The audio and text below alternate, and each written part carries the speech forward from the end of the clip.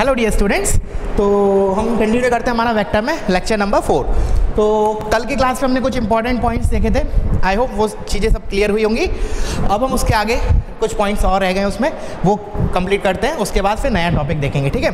तो let's write down the next important point in that only कि हमारे पास स्पेस uh, में अगर दो लाइन्स हैं तो व्हाट आर द पॉसिबिलिटीज़ ठीक है ना? फॉर एग्ज़ाम्पल जब मैं टू डायमेंशन की बात करता हूँ, जब हम कोऑर्डिनेट ज्योमेट्री की बात करते हैं, जब हमारे पास एक्स वाई प्लेन होता है let say this is my X Y plane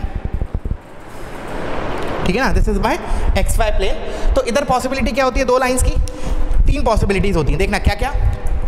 या तो वो दोनों लाइंस पैरेलल हो। This is one of the possibility या फिर वो दोनों लाइंस कोइंसिडेंट हो। जैसे मैं एक डिफरेंट कलर से बना देता हूँ, दूसरी लाइन कोइंसिडेंट मतलब इसी के ऊपर ओवरलैप कर रही है। ठीक है? क्लियर है? वो इंसिडेंट मतलब फॉर एग्ज़ाम्पल ये ब्लैक वाली जैसे मैंने लिखा, x plus y equals to two तो ये मैं ब्लू वाली लिख रहा हूँ two x plus two y equals to four तो simply I multiplied with some constant तो I get the same line तो उसमें वो क्या बोलते हैं? कोइंसिडेंट लाइन ये क्या हो गया? Parallel and distinct parallel and distinct में क्या होता है? स्लोप बराबर होता है. फॉर एग्ज़ाम्पल अगर मान लो मैंने इसको ऐसे बोला, x plus y equals to two तो this will be x plus y equals to some different number ठीक है ना? दोनों लाइन का स्लोप इज़ माइनस वन ये पॉसिबिलिटी हो। तो थर्ड पॉसिबिलिटी क्या होती है? टू डायमेंशन स्पेस में इंटरसेक्टिंग मतलब इस टाइप का सिनेरियो क्लियर है? ये जो मैंने तीन सिनेरियोज डिस्कस किए that is for two dimension कि कोइंसिडेंट पैरेलल डिस्टिंक्ट या फिर इंटरसेक्टिंग बट अब हमारा जो थ्री है ना वेक्टर थ्री उसमें थर्ड पॉसिबिलिटीज और है। वो पॉसिबिलिटी क्या है? कि uh, जैसे for example this is one of my line ठीक है ना ब्लू वाला।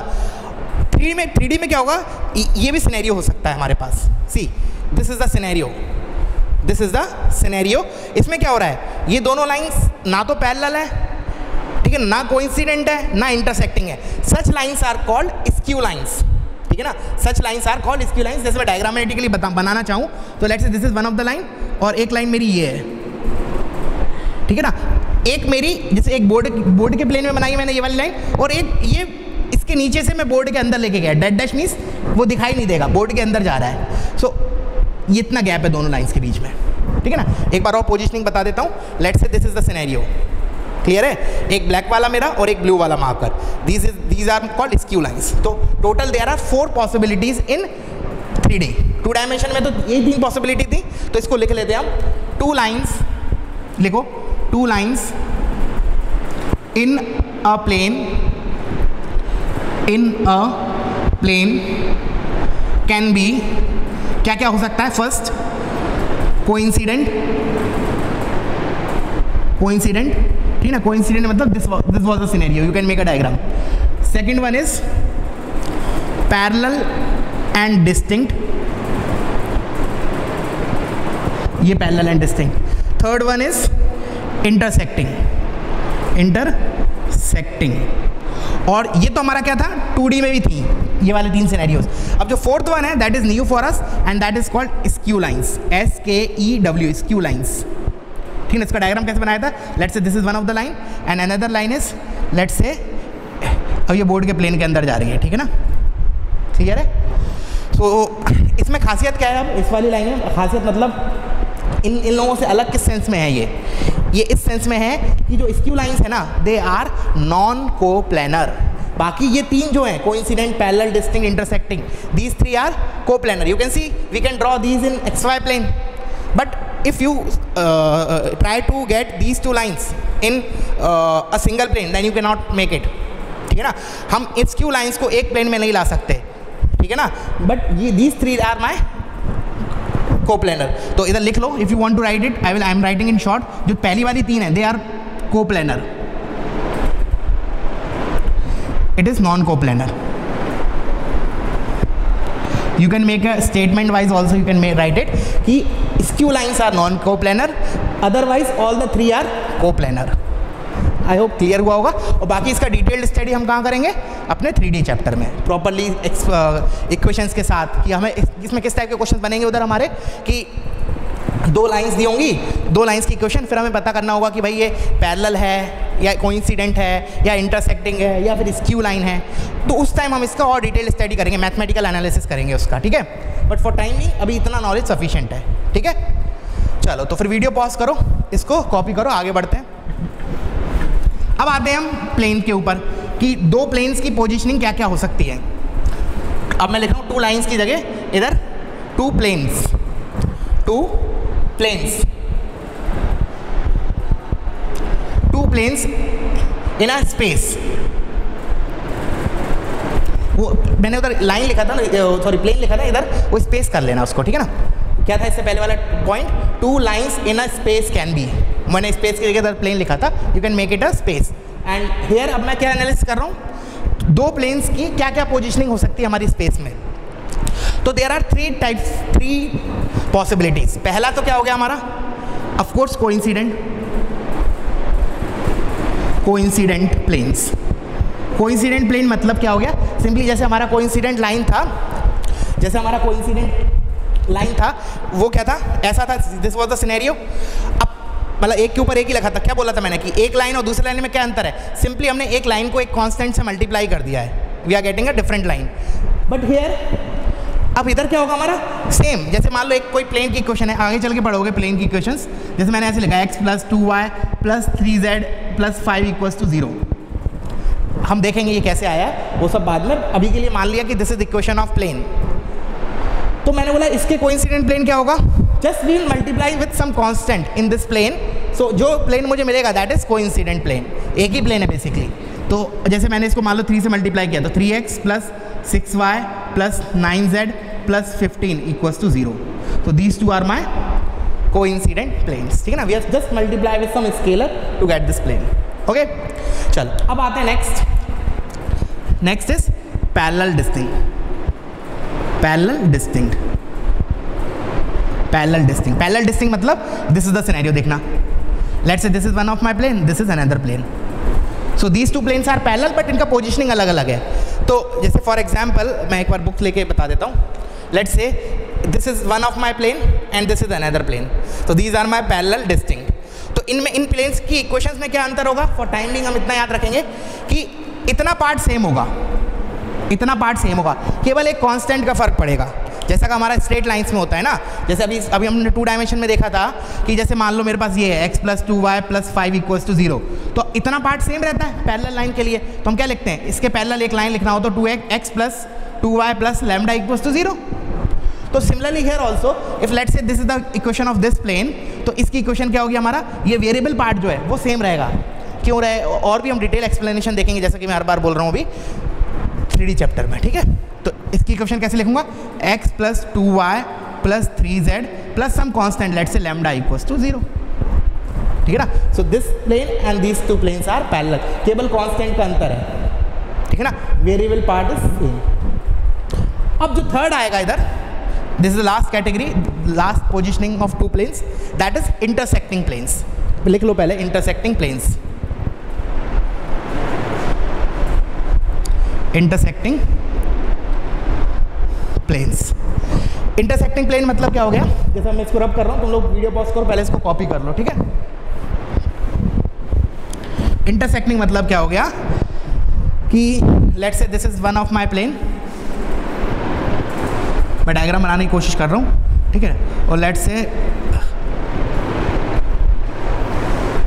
let say this is one this is another plane let say this is P one this is P two मतलब अगर मैं ऐसे बताऊँ फिजिकली बताऊँ तो लेट से मेरे पास ये ये है लेट से ये, देखना देखना ध्यान से। Let say this is one of my plane this plane and this is one of my other other plane so you can see कि ये और ये प्लेन जो है हमारा दीज टू प्लेन्स क्या कर रहे हैं? इंटरसेक्ट कर रहे हैं। और इंटरसेक्ट कहाँ कर रहे हैं?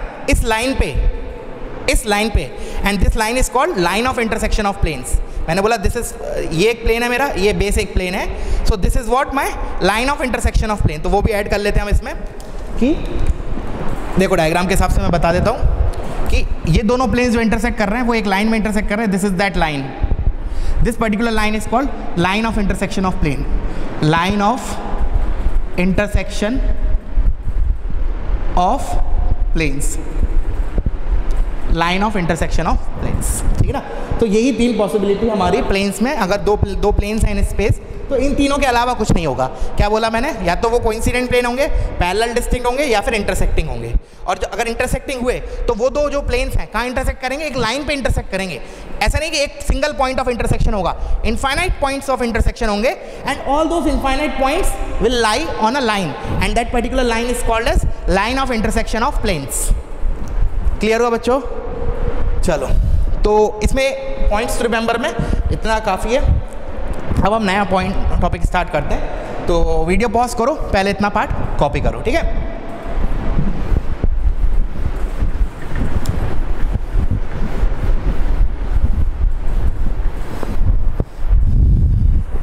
लिखो next topic is linear combination of vectors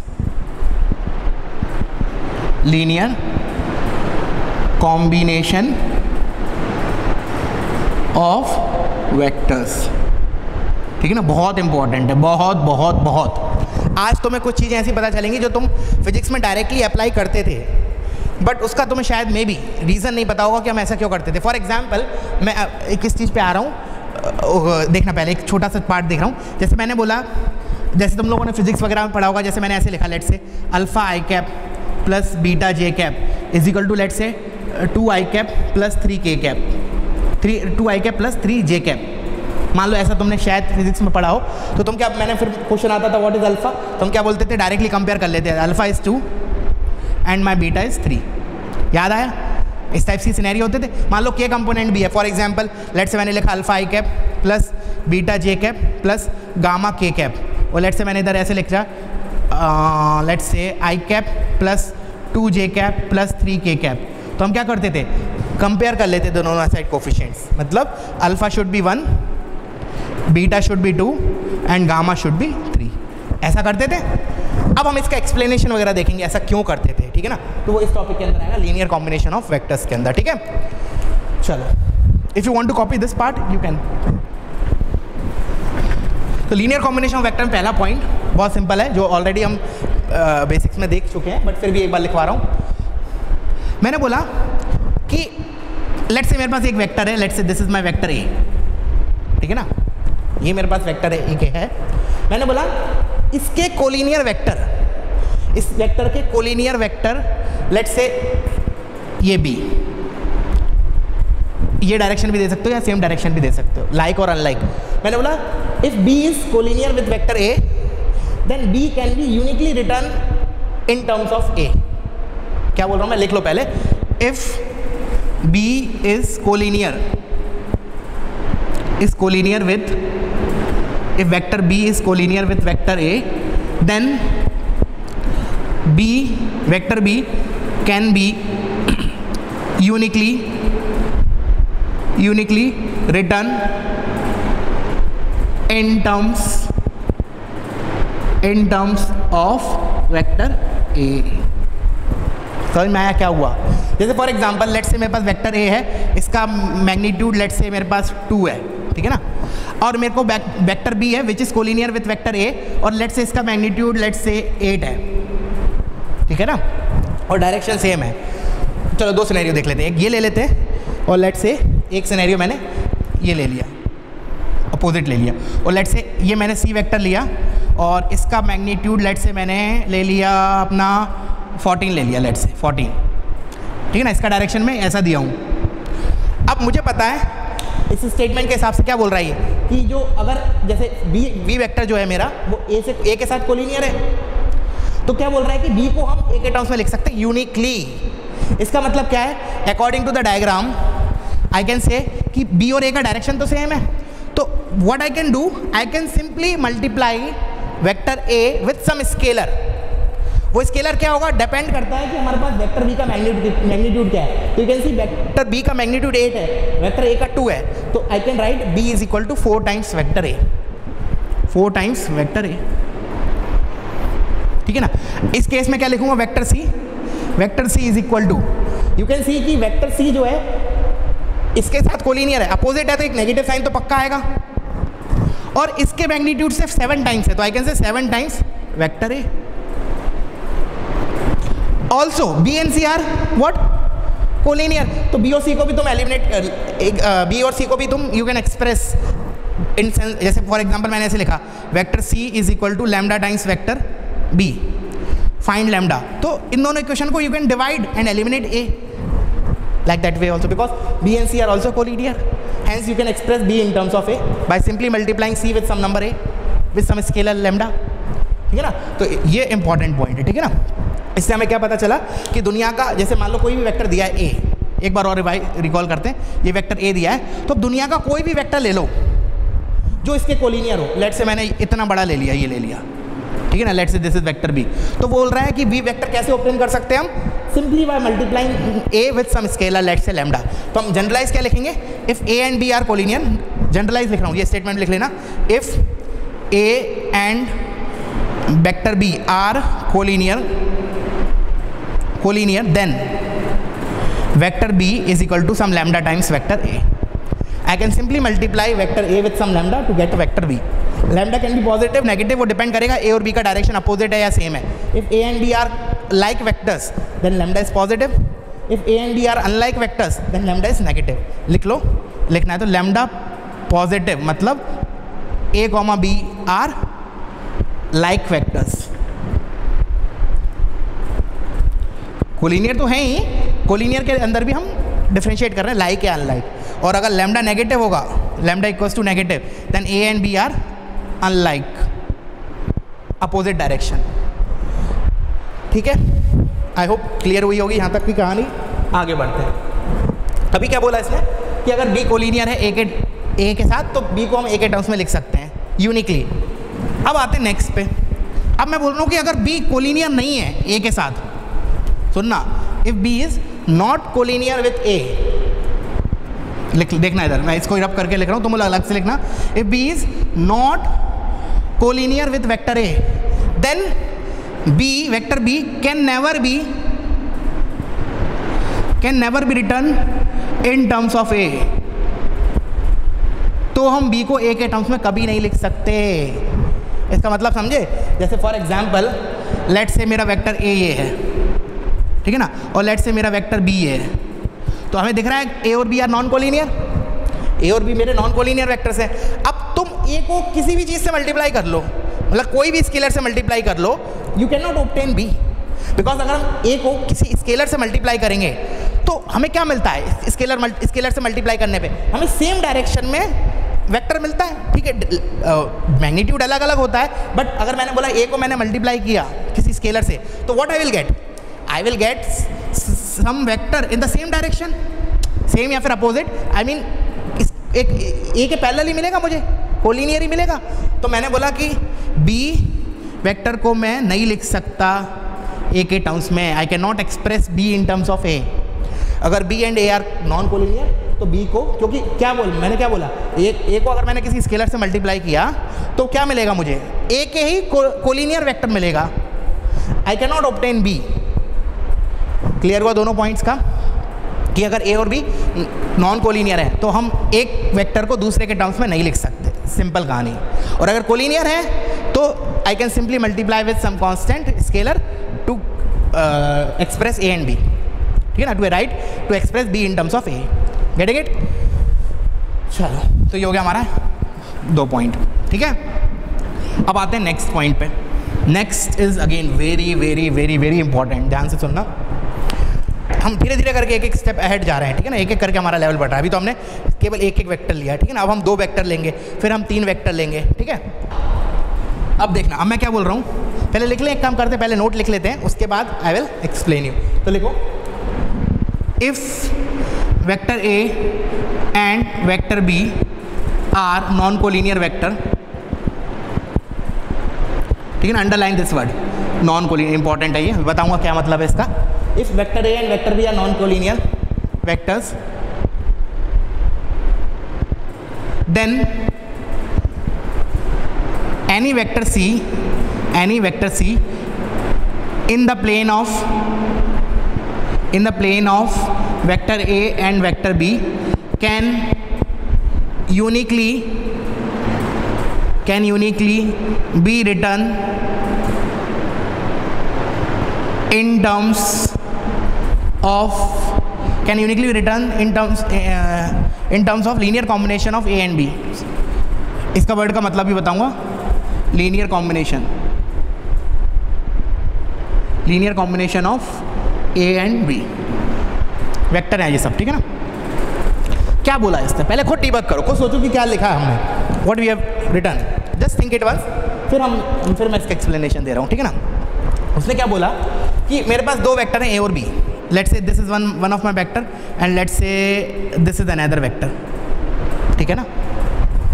Let's say this is vector A this is vector B अब वो बोल रहा है कि जैसे मैंने इस इस, इस बोर्ड को प्लेन मान रहा हूँ तो मेरे वेक्टर ए और वेक्टर बी इस प्लेन पे है बोर्ड के प्लेन पे है। अब वो क्या बोल रहा है कि इस प्लेन पे कोई भी वेक्टर ले लो कोई भी वेक्टर लेट से मैंने ये ले लिया। लेट से मैंने ये ले लिया। Vector C that is in plane of A and B तो वो क्या बोल रहा है? कि हम सी को ए और बी के लीनियर कॉम्बिनेशन में लिख सकते हैं. एंड ऑल्सो ये भी वर्ड कर लेना अंडर मार्क यूनिकली इसका मतलब भी बताऊँगा क्या है. क्या बोला? If A and B are non collinear vectors then any vector C in a plane of A and B can uniquely be written in terms of linear combination of A and B इसका मतलब क्या है? That is mathematically vector C is equal to summit one times vector A plus lambda two times vector B this is called linear combination मतलब हम किसी lambda one and lambda two are scalars ठीक है ना? Scalars हैं वो। Lambda one and lambda two are my scalars तो वो क्या बोल रहा है कि हम ए और बी के प्लेन में कोई भी वेक्टर सी है ना, उसको हम ए और बी के लीनियर कॉम्बिनेशन में लिख सकते हैं। And that too uniquely that too uniquely ठीक है ना? फॉर एग्ज़ाम्पल जैसे आप देखो, इसको समझते हैं अपन हल्का सा। लेट से मैं इस, इस, इसी डायग्राम बता देता हूँ। लेट से मेरा वेक्टर ए है ये इस डायरेक्शन में एंड लेट से इसका मैग्नीट्यूड इज़ टू यूनिट्स इसका magnitude is let say three units मान लिया मैंने। और ये मेरा वेक्टर सी है लेट से ठीक है ना? तो अब मैं क्या करूँगा? देखना ध्यान से। अब मैंने क्या किया? मुझे क्या करना है? सी को एक्सप्रेस करना है ए और बी के टर्म्स में। तो मैंने क्या किया? एक मिनट में इस साइड डायग्राम बना लेता हूँ। Let say this is why my vector C मैंने वेक्टर बी को उठा के इधर रख दिया। तो व्हाट आई से राइट आई और अच्छा उठा के रखा तो देखो चलो, रख देते हैं पहले, इसको उठा के मैंने ऐसे रखा। Let say this is my vector B ठीक है? ये वेक्टर बी है, ये वेक्टर सी है। और ए को मैंने उठा के इसके टिप पे रखा। इस वेक्टर को because we can translate the vectors so मैंने इसको उठा के इधर रखा। तो लेट से मेरा वेक्टर ए ऐसा आया, कुछ तो। This is my vector A ठीक है? क्लियर है? अच्छा अब सुनना ध्यान से। अब मान लिया एक मिनट के लिए कि देखो ये यहाँ से लेके यहाँ तक मेरा पूरा वेक्टर बी था। अब मान लो कि मेरा यहाँ से लेके यहाँ तक लेट से फॉर एग्जांपल अच्छा ये वेक्टर भी मैंने ऐसे साइन दे दिया। और लेट से इतना इतना लेंथ इस मैंने मान लिया इसको वन uh, यूनिट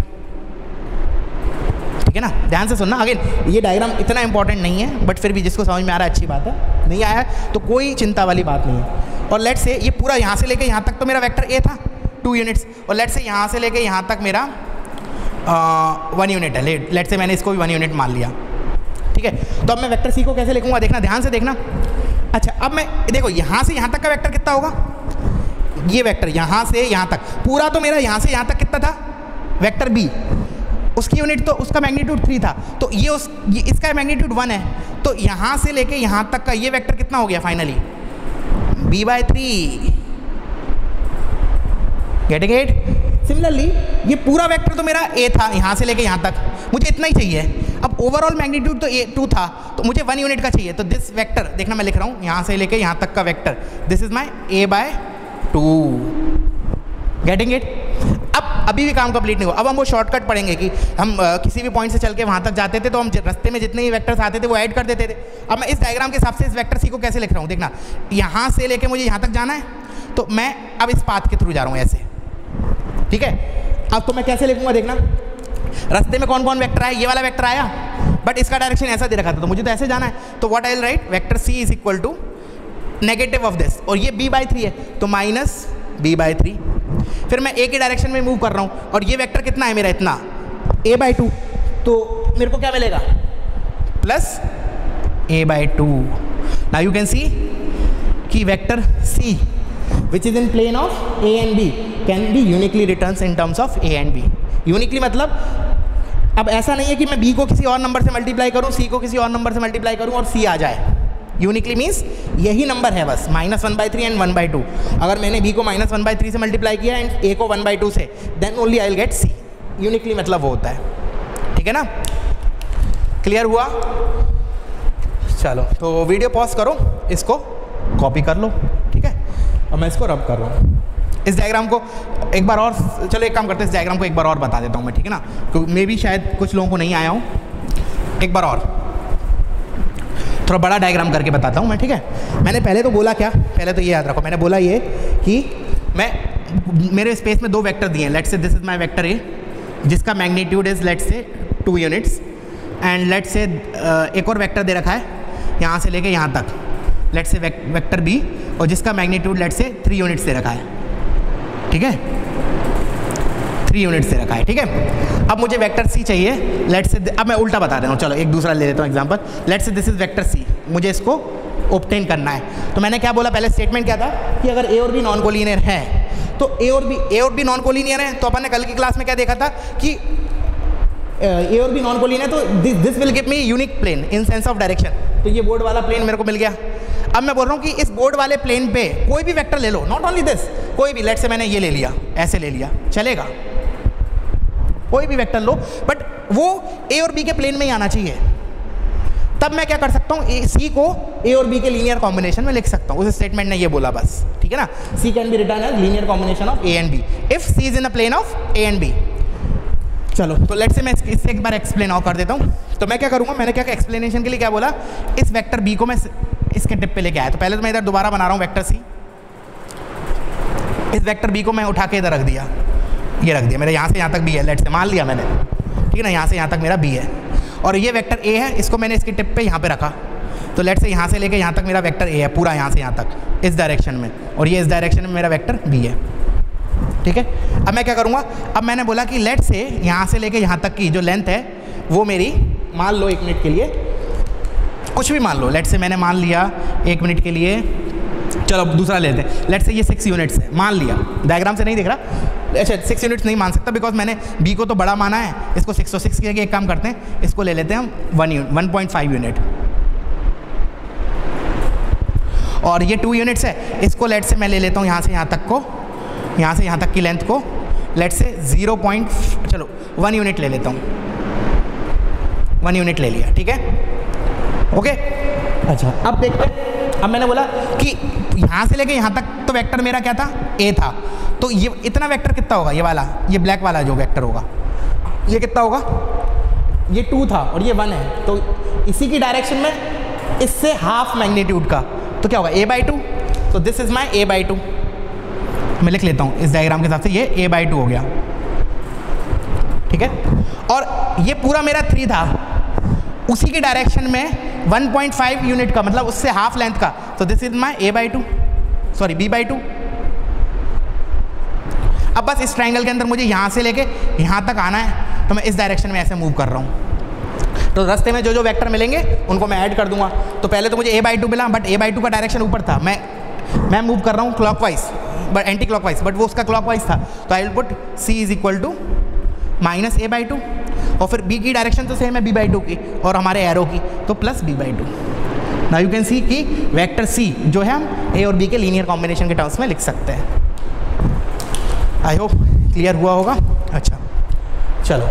अब मैंने बोला इसी का एक और पॉइंट लिख लेते हैं हम, कि ए और बी अगर मान लो हमारे दो नॉन कोलिनियर वेक्टर्स हैं, और तीसरा वेक्टर जो है, वो मेरा ए और बी के प्लेन में नहीं है. सुनना ध्यान से. मैंने क्या बोला? कि लेट से चलो इसको विजुलाइज करने के लिए ऐसे बना रहा हूँ मैं। Let say these are my two vectors in a plane of board A and B ठीक है?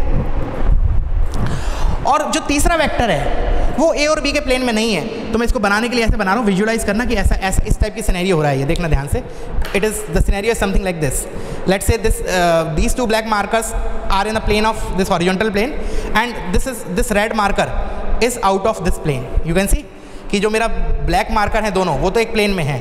और जो मेरा वेक्टर सी है that is red marker that is in that is not in the plane of A and B तो अब क्या बोल रहे हैं हम? अब मैं वेक्टर सी जो है ना, ये तो मेरा वेक्टर ए था, ये वेक्टर सी है। This vector c, which is not in the plane of a and b then vector c can never be written vector C can never be written as a linear combination of A and B तो C को हम A और B के linear combination में कतई नहीं लिख सकते, कभी नहीं लिख सकते। ठीक है ना? क्या बोला मैं?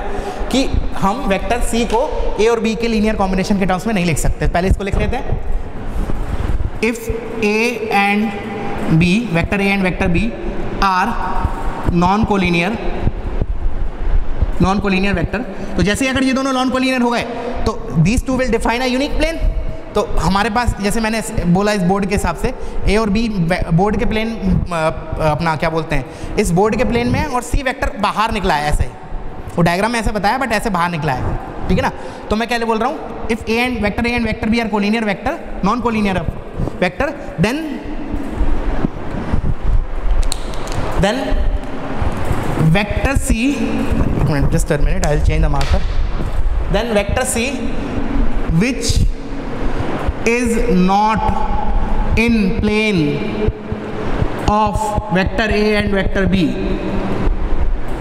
Then vector C which is not in a plane of A and B can never be can never be written as a linear combination of vector A and vector B ठीक है ना? समझ में आया? तो हम सी अगर non को प्लेनर है which is which is not in a plane which is non coplanar मतलब ए और बी के प्लेन में नहीं है मतलब A B C are non coplanar basically तो दो वेक्टर्स हमेशा को प्लेनर होते हैं। अब वो बोल रहे हैं वेक्टर सी जो है that is not in the plane of A and B मतलब A B C are non coplanar vectors तो क्या बोल रहे हैं कि हम सी को कभी भी ए और बी के लीनियर कॉम्बिनेशन के टर्म्स में नहीं लिख पाएँगे। मतलब मैथमेटिकली क्या बोलूँगा? Vector C can not be written as lambda one times vector A plus lambda two times vector B we can not write this way अगर कोई बोलेगा एक इसमें से छोटा सा नो, नो अभी बाद में पढ़ेंगे हम अभी अभी नहीं बता रहा हूँ उसका डिटेल डिस्कशन एक छोटा सा पॉइंट है कि हम वेक्टर सी को ए और बी के टर्म्स में तो लिख सकते हैं बट लीनियर कॉम्बिनेशन नहीं लिख सकते.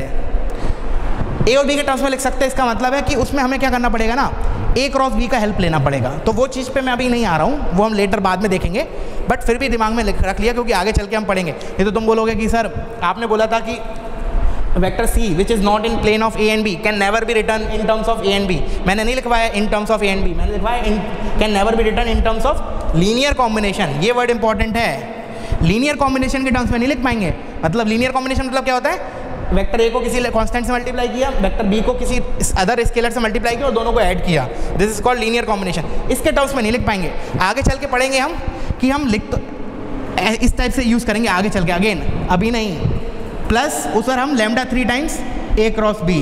तो उधर हमें ए क्रॉस बी का यूज़ करना पड़ेगा but that is not called as linear combination getting it हम वेक्टर सी को लिख तो सकते हैं ए और बी दो नॉन लिए वेक्टर के टर्म्स में बट क्या बोला मैंने? उधर मुझे ए क्रॉस बी की हेल्प लेनी पड़ेगी and that is not the linear combination getting it तो for timing if you want to write write this but अभी ज़रूरी नहीं है। समझने के लिए अभी समझ लिया। तो आगे चल के मान लो आता है स्टेटमेंट तो तुम ऐसा ना बोलो कि सर ने नहीं बताया, ठीक है ना? आई एम सेइंग कि ए और बी के टर्म्स में लिख सकते हैं but that combination is not the linear combination क्यों? क्योंकि उसके अंदर हमें ए क्रॉस बी की हेल्प लेनी पड़ रही है। आई होप क्लियर हुआ होगा। चलो, आगे बढ़ते हैं।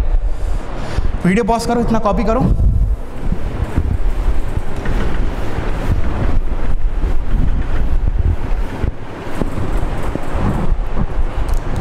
Next point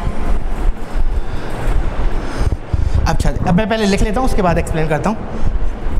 If vector A and vector B are non collinear are non collinear vectors then equation of the type सुनना ध्यान से lambda one vector A plus lambda two times vector B equals to zero then equation of the type, this implies lambda 1 equals to lambda 2 equals to 0 ये अब तुम्हारा clear होगा, वो physics वाला जो मैं बता रहा था ना you are comparing the coefficient अभी क्लियर होने वाला है, देखो। पहले तो इसको सोचो, क्यों ऐसा, क्यों हुआ? जस्ट थिंक इट बहुत सिंपल सा एक्सप्लेनेशन है। ठीक है ना, मैं आऊँगा एक्सप्लेनेशन पे but before that you just pause the video and एक बार खुद से सोचो। उसने बोला कि ए और बी मेरे दो लीनियर कॉम्बिनेशन है। ए और बी मेरे दो लीनियर दो सॉरी दो नॉन को लीनियर वैक्टर्स हैं।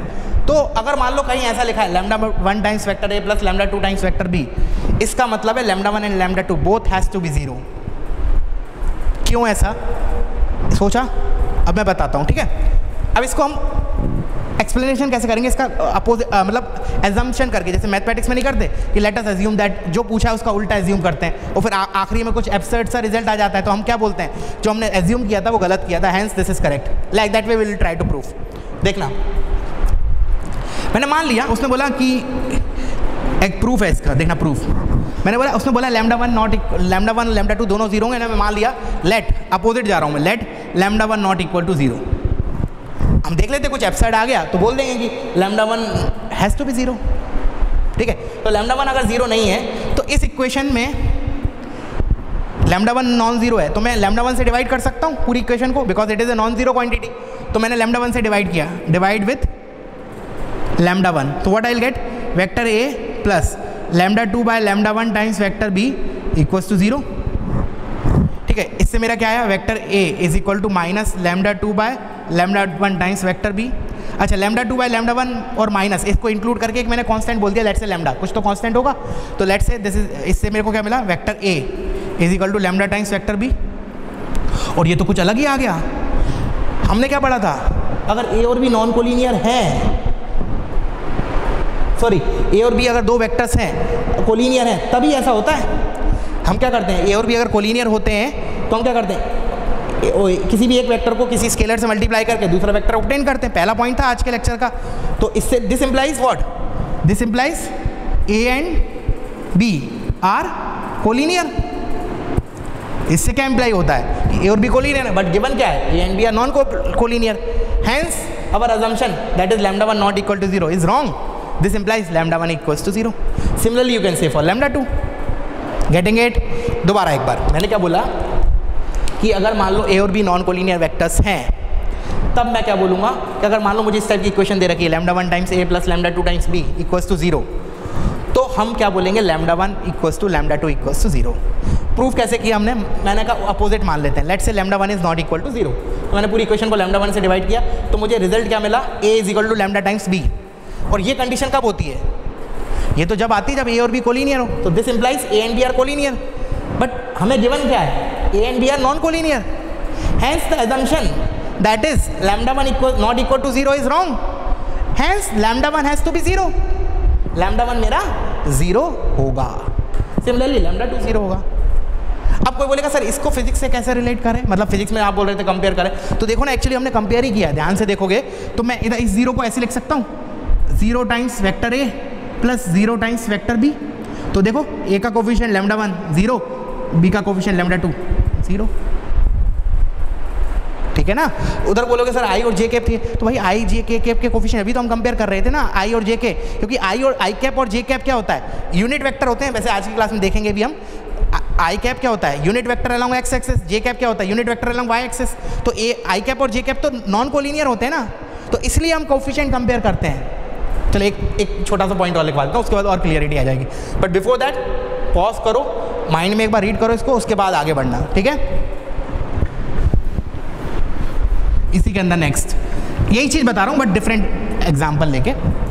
मैंने बोला if A and B are non collinear vector लिखना है इसको। Then the equation of the type lambda one times vector A plus lambda two times vector B is equal to mu one times vector A plus mu two times vector B अगर ऐसी इक्वेशन दी है this implies lambda one equals to mu one comma lambda two equals to mu two I hope अब clear हुआ होगा? I hope अब clear हुआ होगा। क्या है? ए और बी नॉन कोलिनियर है तो हम क्या कर सकते हैं? डायरेक्टली कोफिशियंट्स कंपेयर कर सकते हैं। और प्रूफ कैसे करेंगे अगेन प्रूफ के लिए मैं क्या करूँगा सारे टर्म्स को एक साइड लेके आऊँगा। लेट से मैं लेके आया तो मेरा क्या बनेगा? Lambda one minus mu one times vector A proof plus lambda two minus mu two times vector B equals to zero और अभी मैंने पढ़ा था, ये तो मेरा क्या है? ये तो मेरा कोई कांस्टेंट है। ये भी मेरा एक कांस्टेंट है। ठीक है ना? तो लेट्स इस कांस्टेंट को मैंने ऐसे बोला K one times vector A plus K two times vector B equals to zero और अभी इससे पहले ही हमने पढ़ा कि अगर मान लो इस टाइप की इक्वेशन दी हो हमारे पास कि के वन मतलब lambda times vector A plus lambda two times vector B और ए और बी कोलिन नॉन कोलिनियर हो। ऑफ़ कोर्स ये वर्ड इंपॉर्टेंट है, इसको अंडर मार्क कर लो नॉन कोलिनियर ये तो पूरा खेल खत्म हो जाएगा हमारा। A and B has to be non collinear तो ए और बी नॉन कोलिनियर हैं। So what I can say K one equals to zero K two equals to zero और के वन ज़ीरो करूँगा तो क्या आएगा? Lambda one equals to mu one K two zero करूँगा तो lambda two equals to mu two getting it चलो तो video pause करो, इसको कॉपी करो। एक मिनट, ठीक है?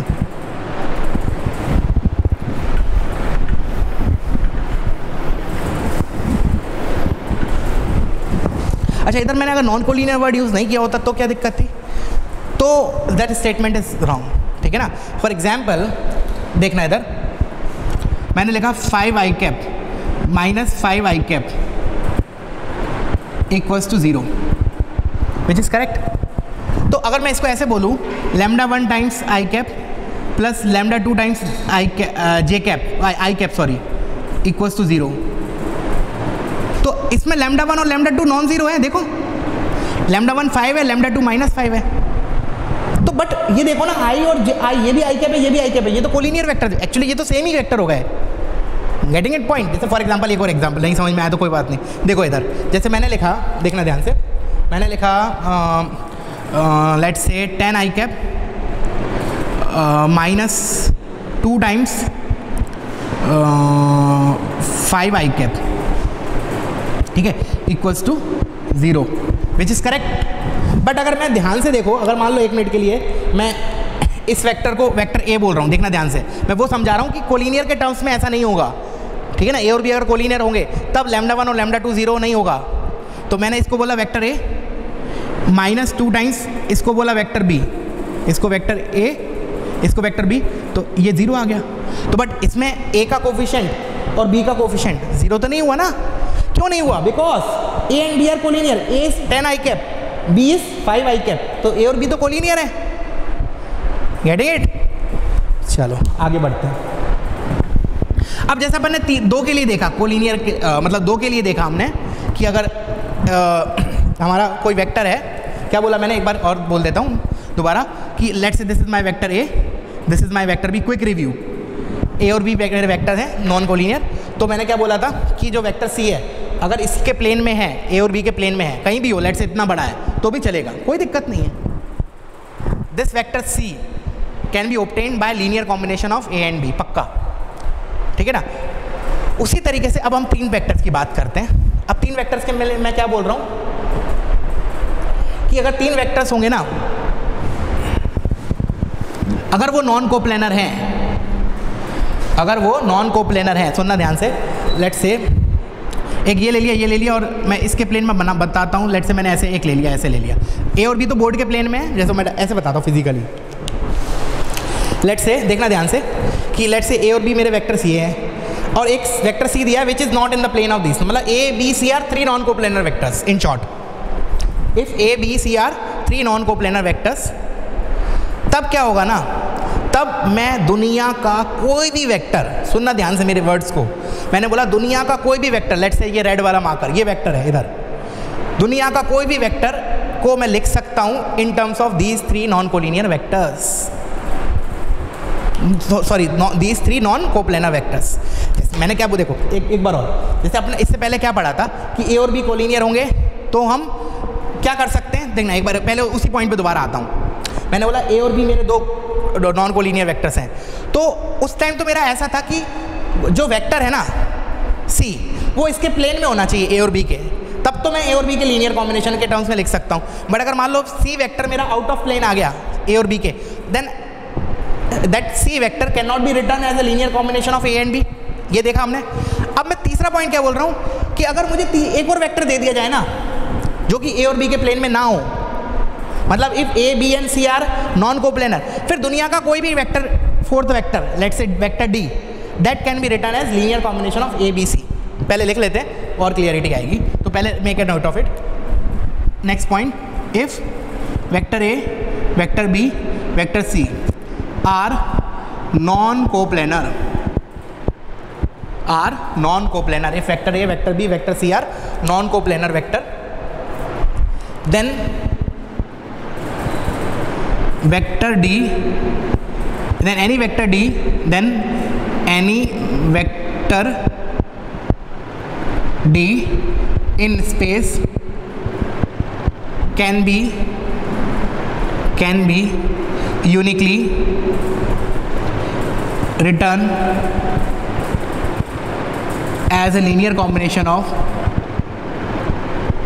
as a linear combination as a linear combination of a, comma, b, comma, c. समझ में आया? ए बी सी अगर नॉन कोप्लेनर है तो हमें दुनिया का कोई भी वेक्टर को मैं लिख सकता हूँ in terms of A B C in terms of मतलब in terms of linear combination of A B C ठीक है ना? और और अगर ए बी सी अगर नॉन कोप्लेनर नहीं होते ना, अगर कोप्लेनर होते तो मैं नहीं लिख सकता। बिकॉज़ मुझे पता है कि अगर ए बी सी तीनों एक ही प्लेन में आ जाए फॉर एग्ज़ाम्पल लेट से अभी मैंने पहले क्या बताया, पहले तो ये बताया कि let say these two black markers are in the plane of board and this blue marker is in the plane of is out of the plane तो मैं A B C are three non coplanar vectors अब मैं बोल रहा हूँ दुनिया का कोई भी वैक्टर ले लो लेट से ये रेड वाला एक दुनिया का कोई भी वैक्टर है तो मैं इन तीनों के टर्म्स में लिख सकता हूँ यूनिकली बट अगर मान लो ए बी सी तीनों को प्लेनर हो जाते, तब मैं बोलूँ वेक्टर सी को लिखो लेट से ये वेक्टर डी है, इसको लिखो इन तीनों के टर्म्स में, तब नहीं लिख पाता मैं. बिकॉज़ इन तीनों के लीनियर कॉम्बिनेशन से जो भी वेक्टर आएगा ना इन तीनों के लीनियर कॉम्बिनेशन से वो इसी प्लेन में आएगा। क्योंकि हमने देखा था ना कि अगर दो वेक्टर्स हैं तो उसको हम किसी भी स्केलर से मल्टीप्लाई करके ऐड कर दें। जो वेक्टर मिलता है हमें that is in the plane of those two vectors only but इधर मैंने क्या बोला? जो तीसरा वेक्टर ले लिया ना मैंने वो आउट ऑफ़ द प्लेन ले लिया। उसके कारण अब मैं दुनिया का कोई भी वेक्टर इन तीन वेक्टर्स के टर्म्स में लिख सकता हूँ लीनियर कॉम्बिनेशन में। गेटिंग इट चलो। तो वीडियो पॉज करो इसको कॉपी करो। अब एक और चीज़। अब हम वो तीन वाला देख लेते हैं। जैसे अब तुम लोग फिजिक्स में देखते थे कि इस टाइप का लिखा होता था। देखना ध्यान से मैं लिख रहा हूँ। X I cap plus Y J cap plus Z K cap this is equal to let say I cap plus six J cap minus nine K cap तो हम क्या बोलते थे? कंपेयर करते थे। X is equal to one Y is equal to six Z is equal to minus nine ये चीज़ हम करते थे। क्यों करते थे? अब क्लियर हो जाएगा। क्योंकि, अब देखना अब देखना बहुत इंपॉर्टेंट है। ध्यान से देखना। अब मैं लिख रहा हूँ। एक मिनट। इसको हटा रहा हूँ। इसको लिख लेना मैं रब कर दिया है, ठीक है ना? If vector A B C and are non coplanar coplanar then equation of the type then equation of the type lambda 1 times vector a plus lambda 2 times vector b plus lambda 3 times vector c equals to 0 implies lambda 1 equals to lambda 2 equals to lambda 3 equals to 0 बहुत important जैसे अपन ने इससे पहले किया था, उधर मेरा एक सी नहीं था। जब हमने क्या बोला था ए और बी नॉन कोप्लेनर होंगे तो I can say lambda one, lambda two zero है। ठीक है ना? इसी इक्वेशन को मैं और कैसे लिख सकता हूँ कि then equation of the type lambda one vector A plus lambda two vector B plus lambda three vector C equals to mu one times vector A plus mu two times vector B plus mu three times vector C this implies lambda one equals to mu one lambda two equals to mu two lambda three equals to mu three क्यों कर पा रहे हैं हम coefficient compare the reason is A B C are non coplanar अगर A B C non coplanar नहीं हुए, तब आई कैन नॉट कंपेयर तो हम फिजिक्स में क्यों करते थे? बिकॉज़ फिजिक्स में हम क्या करते थे? I cap J cap K cap उन वेक्टर्स के कोफिशिएंट बराबर करते थे ना। और मुझे पता है I cap J cap K cap वो तो तीन ऑर्थोगोनल वेक्टर्स हैं। अभी आएँगे हम ऑर्थोगोनल वेक्टर्स क्या होते हैं। बट वो तो नॉन कोप्लेनर होते हैं। एक एक्स एक्सेस के अलॉन्ग होता है एक वाई एक्सेस के एक जेड एक्सेस के अलॉन्ग तो इसलिए हम कंपेयर करते थे because I cap J cap and K cap are my non coplanar vectors तो similarly here also I can compare the coefficients basically ये क्वेश्चन और ये क्वेश्चन एक ही टाइप की चीज़ लिखी है। कैसे लिखी एक ही टाइप चीज़? तुम सारे टर्म्स को इस साइड लेके आओ तो what you will write you will write like this way ना? कि lambda one minus mu one times vector A plus lambda two minus mu two times vector B plus lambda three minus mu three times vector C equals to zero फिर क्या करते this zero this zero this zero दोस्तों, यही चीज़ आती ना हमारी। The reason is A B C are non coplanar getting it अच्छा अब इसका प्रूफ अब इसका प्रूफ तो जैसा अपन ने उधर किया था, हम क्या करेंगे प्रूफ के लिए? कॉन्ट्राडिक्शन टाइप मतलब जो दिया है, उस, जो प्रूफ करना है, उसका अपोजिट एज्यूम कर लेते हैं और कुछ एब्सर्ड सा आ जाएगा तो हम बोल देंगे हमारा एजम्पन गलत है। ठीक है? वीडियो पॉज करो। एक बार तुम लोग ट्राई करो। ठीक है? अब मैं आता हूँ इसके सोल्यूशन पे। तो मैंने मान लिया let lambda one not equals to zero ठीक है? लैमडा वन ज़ीरो नहीं है मेरा। ठीक है? अच्छा अगर ज़ीरो नहीं है तो मैं इस इक्वेशन को I can divide with lambda one lambda one से डिवाइड कर दिया। अगर मैंने इसको लैमडा वन से डिवाइड किया तो देखो क्या मिलेगा मुझे? इधर मिलेगा vector A plus lambda two upon lambda one times vector B plus lambda three upon lambda terms one times vector C equal to zero इन दोनों टर्म्स को उधर लेके गया। तो vector A is equal to minus lambda two by lambda one times vector B plus lambda three by lambda time one times vector C minus का इधर। और late से मैंने इसको एक अलग कांस्टेंट बोल दिया, इसको एक अलग कांस्टेंट बोल दिया। तो ये क्या हो गया? Vector A is equal to K one times let say उस कॉन्स्टेंट को मैं के वन बोल रहा हूँ। तो what you are getting K one times vector B plus K two times vector C अब ये चीज़ तो हम क्या पढ़े थे?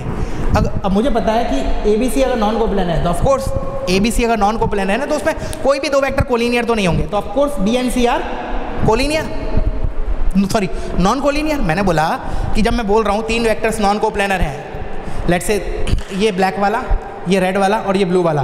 These three are my non coplanar already दिया है। तो अगर नॉन कोप्लेनर है तो अब पक्की बात है कि कोई भी दो उठाओ। इन तीनों में से कोई भी दो का पेयर उठाओ। लेट से मैं ब्लू वाला और रेड वाला उठा रहा हूँ। तो of course these two are non collinear similarly this two are non collinear this two are non collinear because अगर मान लो कोई भी दो कोलिनियर हो गए। लेट से मैंने बोला ब्लैक वाला और रेड वाला कोलिनियर हो गया।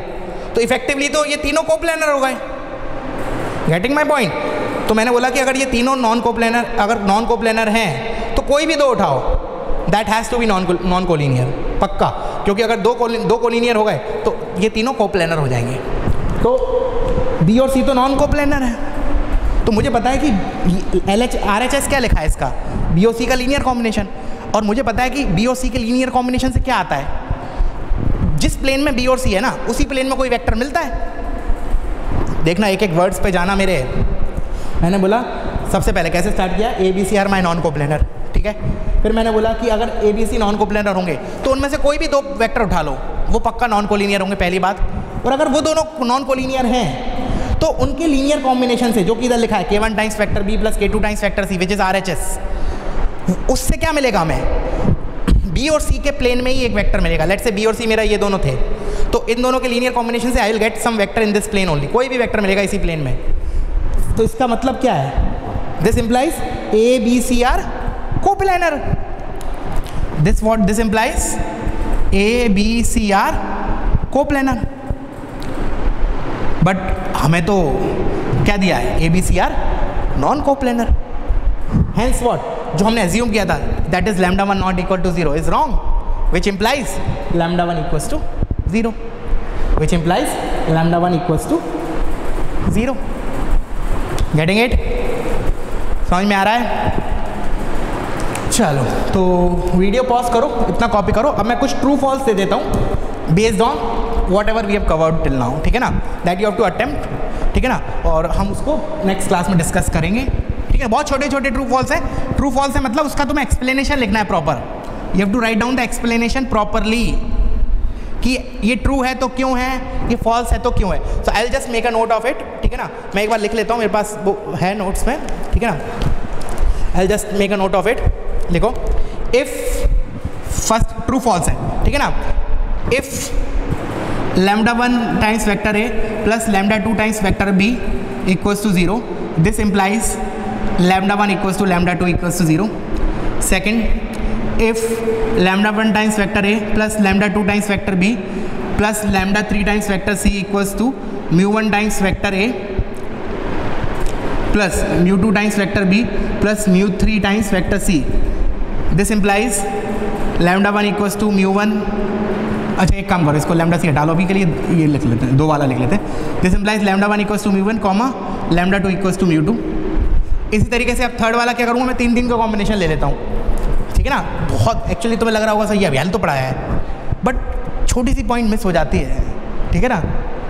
इसलिए मैं दे रहा हूँ। If lambda one A plus lambda two B plus lambda three C is equal to mu one times A is equal to zero let से पहले ज़ीरो लिख लेते तो this implies lambda one equal to lambda two equal to lambda three equal to zero fourth one if lambda one times vector A plus lambda two times vector B plus lambda three times vector C equals to mu one times vector A plus mu two times vector B plus mu three times vector C this implies lambda one equal to mu one comma lambda two equal to mu two comma lambda three equals to mu three.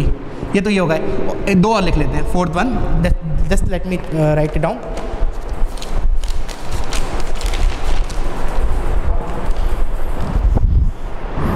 if vector C लिखो। If vector C is equal to lambda one times vector A plus lambda two times vector B for the three given vectors for the three given आराम से सोचना इसको for the three given vectors ठीक है ना? If vector C is equal to vector lambda one times vector A plus lambda two times vector B for the three given vectors then always lambda one and lambda two are unique then always lambda one comma lambda two are unique ठीक है ना? Proper explanation ठीक है ना? Proper explanation चाहिए। ठीक है ना? उसके बाद last if A B C are coplanar vectors then if A B C are coplanar vector are coplanar vector then vector D then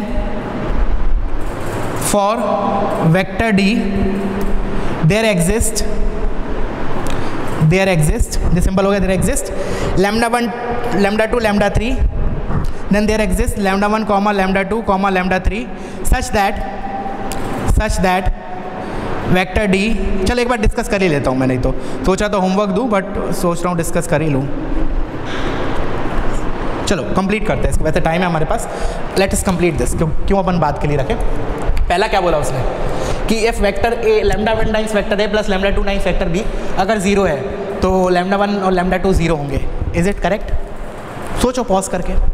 the answer is मैं थोड़ा फास्ट करता हूँ। आंसर इज़ फॉल्स सोचो क्यों?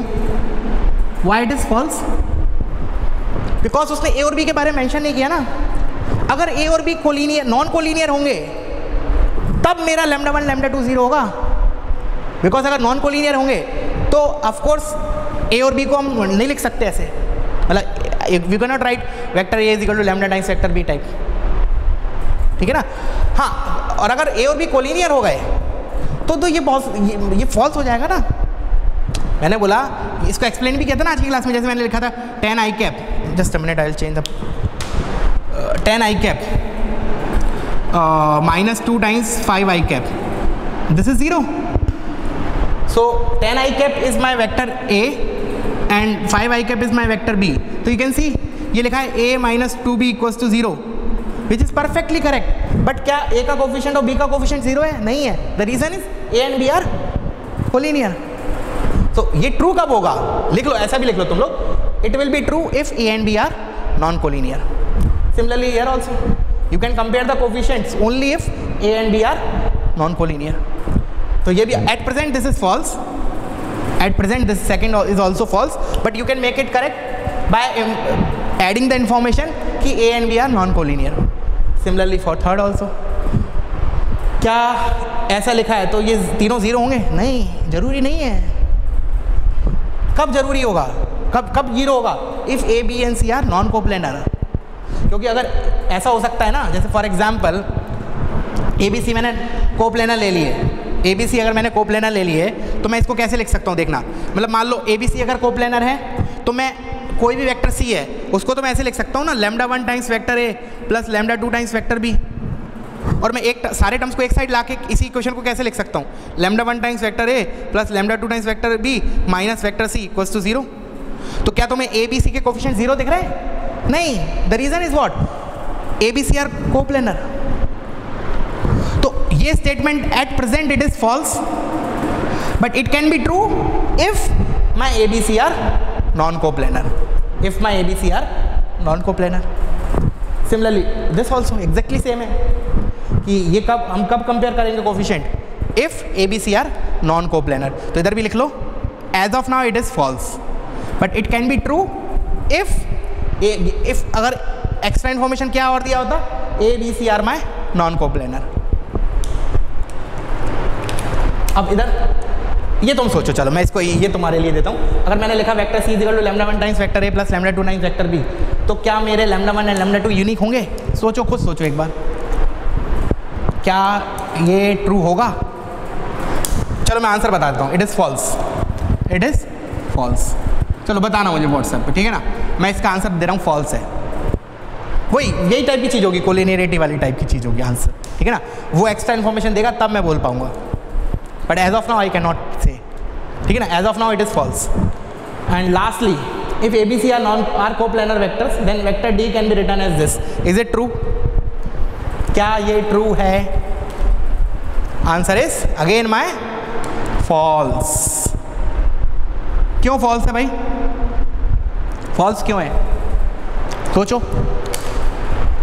द फॉल्स इसलिए है because देखो, ये ए बी सी अगर कोप्लेनर है तो ये जो मेरा वेक्टर आएगा ना, इसके लीनियर कॉम्बिनेशन से, ये जो आर एच एस है R H S R H S जो है मेरा that is a vector in a plane of A B C R H S is ऐसे लिख लो R H S is a vector in a plane of A comma B comma C R H S जो है मेरा वो एक vector है of course and that is in plane of A B C तो मैं बोल रहा हूँ कि ये फॉल्स क्यों हो रहा है? द फॉल्स इसलिए हो रहा है, उसने डी को मेंशन नहीं किया।